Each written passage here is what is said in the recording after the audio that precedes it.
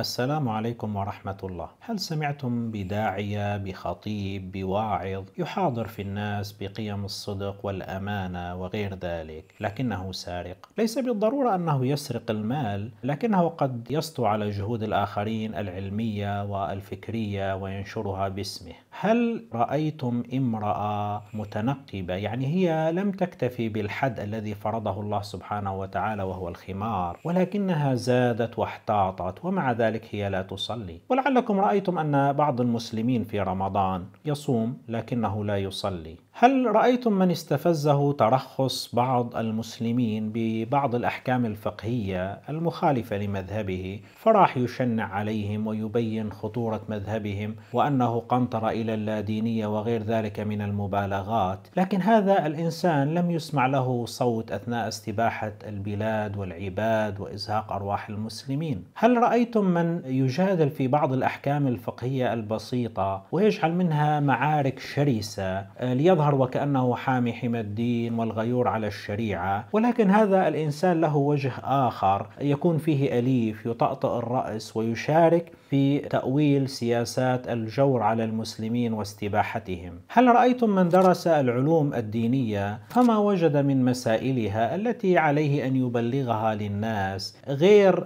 ذم الغزالي أو النووي أو التشنيع على ابن تيمية وابن عبد الوهاب وما وجد عدوا للإسلام أو خطرا على المسلمين إلا الأشاعرة أو الوهابية بحسب اصطفافه طبعا. يعني هو لم يرى خطر الماديين ولا الملحدين ولا عصابات الفن والترفيه ولم يرى خطر أهل الغلو ولا الفرق الدينية الجديدة التي تسعى بعض الحكومات لصناعتها وتقديم إسلام رسمي عبرها. هل رأيتم ذلك المتدين الرومانسي الذي يحب الأشعار والأناشيد وغير ذلك يحب التغزل بحمام المدينة وماء زمزم وشاة أم معبد لكن ما له ولخراب البصرة وغيرها من حواضر المسلمين وتشريد أهلها وأداء الواجب نحوهم؟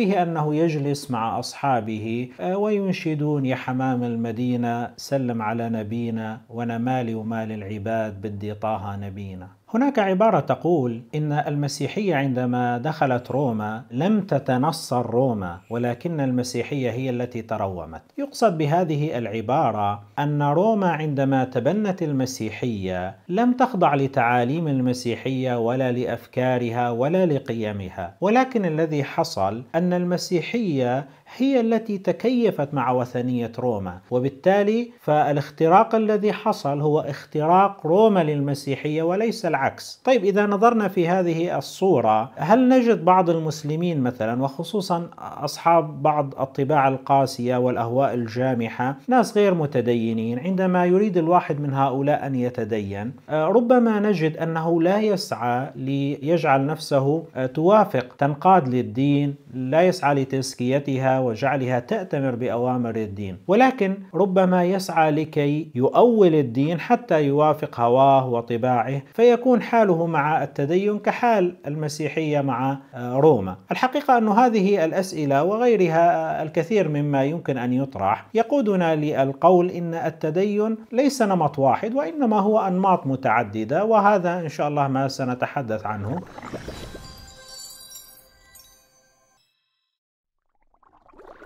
نقدم بمقدمتين. في المقدمة الأولى نفرق فيها بين الدين والتدين. الحقيقة أن الدين هو وضع إلهي والتدين هو سعي البشر للالتزام بذلك الوضع الإلهي. وبالتالي فالدين هو الصورة المثالية والتدين هو طريق البشر نحو تلك الصورة وهم في هذا الطريق بطبيعة الحال تختلف أماكنهم قربا وبعدا. ولذلك يعني بعضهم تدينه رقيق وبعضهم تدينه قوي بحسب موقعه من هذا الطريق. لكن السؤال هل يمكن القول أنه يمكن أن يطابق التدين الدين؟ يعني بمعنى هل يمكن القول أنه تدين فلان هو عين الدين وأن أخلاق فلان هي عين الدين وما شابه ذلك؟ الحقيقة أن الأصل هو عدم المطابقة لأن الإنسان كثير النسيان ولأن ابن آدم خطاء كما ورد في الحديث. ويعني لا يكاد يسلم أحد من البشر من ارتكاب بعض الأخطاء أو الوقوع في بعض بعض الزلات. وهذا الأمر يعني وقع للكثير من الصالحين ومن الصحابة وكتب الحديث تشهد على ذلك. ولعل الاستثناء الوحيد في ذلك هو للأنبياء ومن اختصهم الله سبحانه وتعالى. ولذلك نجد في جواب السيدة عائشة رضي الله عنها عندما سئلت عن أخلاق النبي صلى الله عليه وسلم قالت كان خلقه القرآن. إذا الأصل هو عدم المطابقة إلا لمن اختصه الله سبحانه وتعالى. ولكن الحقيقة أن القول أنه لا يمكن المطابقة بين التدين والدين بنسبة 100%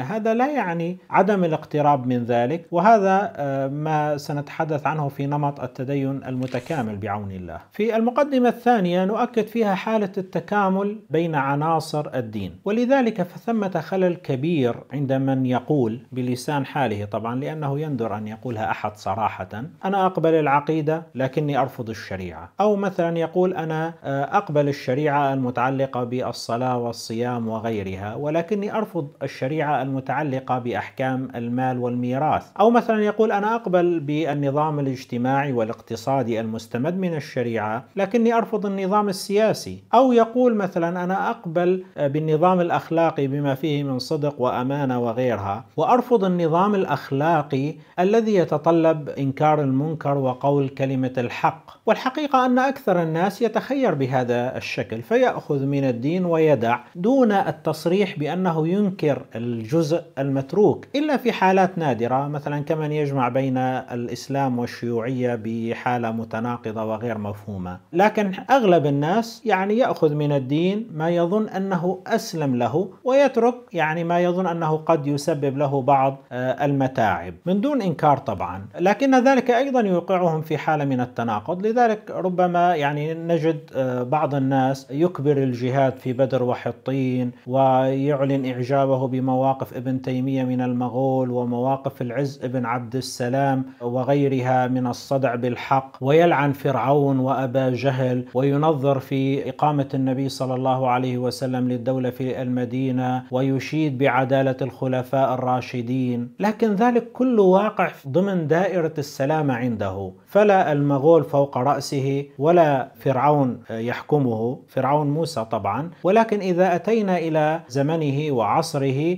نجده ربما يكون أقرب لندماء الحكام وتشعر وكأنه ربما من شعراء البلاط. ولذلك يمكننا القول إن أي تخير من الدين بهذا الشكل الانتقائي هو نوع من الخلل في التدين وهو نمط من العلمانية في التعامل مع الدين. وأما أنماط التدين التي يمكن أن نعرض لها هي متعددة بطبيعة الحال. منها مثلا التدين الذهني وهو حالة من المتعة الذهنية التي تجعل بعض الناس يعني يحبون الحديث في مستوى الأفكار فيقارنون مثلا بين الإسلام وغيره من التيارات والمذاهب وغير ذلك. وهذا موجود عند العلماء والمثقفين وموجود أيضا عند العوام. ربما تجد آه، مثلا بعض العوام يأتي يسألك عن اسم العفريت الذي تحدث مع سيدنا سليمان أو عن عدد أصحاب الكهف وغير ذلك. لكن مثل هذه المواضيع وهذا يعني الحديث الفكري بالنسبة لهم هو مجرد آه، متعة ذهنية ربما لا ينبني عليها يعني نوع من التدين في السلوك العملي أو تدين في الأخلاق وغير ذلك. رب لذلك ربما نجد أن بعضهم مقصر في عباداته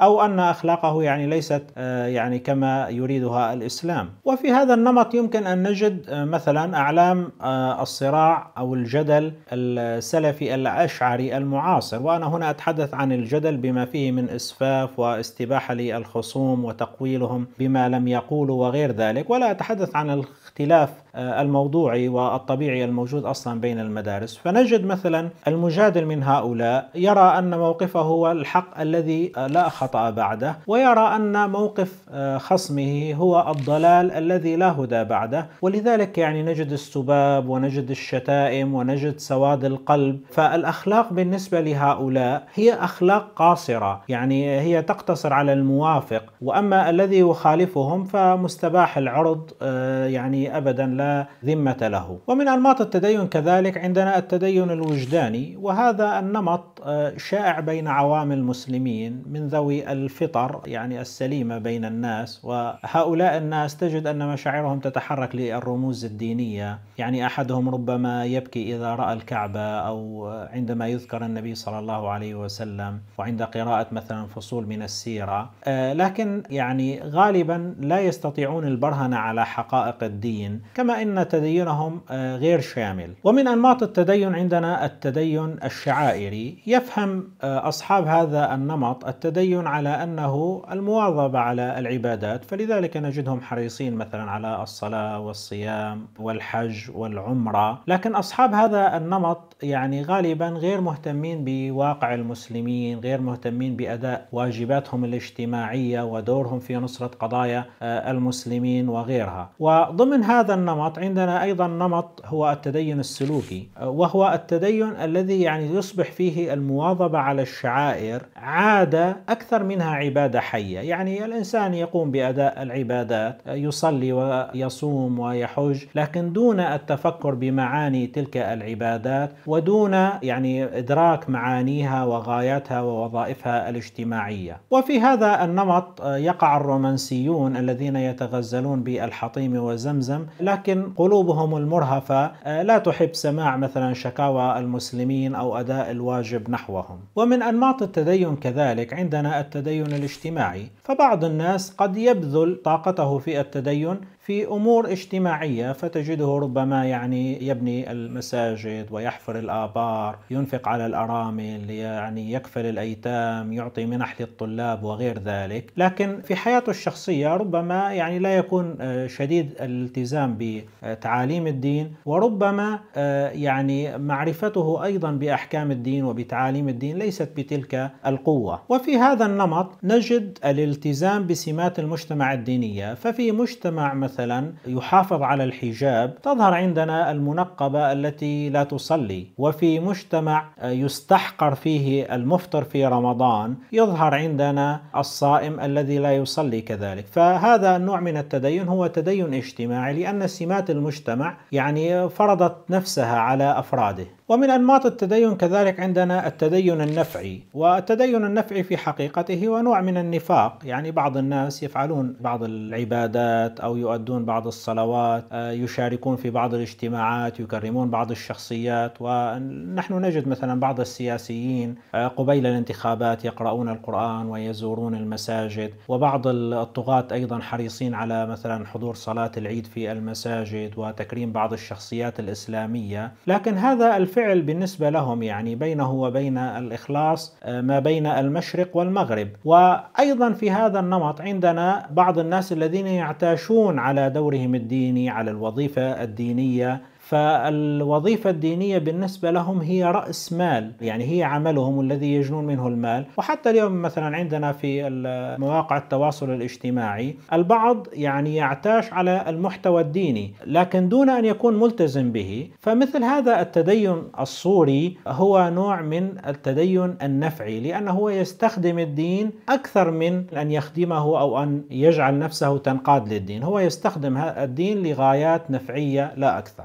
عندنا كذلك تدين ردة الفعل وهذا التدين قد يكون من أصحاب مثلا الماضي الماجن أو الناس الذين استهلكوا أوقاتهم فيما مضى بالشهوات. فعندما يتدين يصبح عنده نوع من ردة الفعل على ماضيه. فنجده مثلا يغالي ويتشدد في آه، مثل هذه آه، القضايا. هل تذكرون المثال الذي قلته لكم في مطلع حديثنا عن آه، حالة المسيحية مع روما؟ غالبا أصحاب هذا النمط آه، يعني عندما تدينوا لم يزكوا أنفسهم آه، كما يريد الدين ولكنهم يعني حاولوا تأويل الدين ليوافق طباعهم فنجد منهم الغلظة ونجد منهم الشدة ونجد أنهم لا يحترمون كبيرا من أعلام المسلمين. فهذا مميع وهذا فاسق وغير ذلك من التهم التي يكيلونها لأعلام المسلمين شرقا وغربا وكأنه لا صالح في الكون إلا فاسق الأمس متدين آه، اليوم هذا. فالحقيقة أن